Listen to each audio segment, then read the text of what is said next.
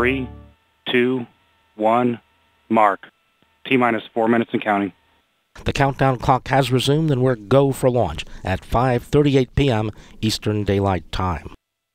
Pico internal. Launch sequencer start.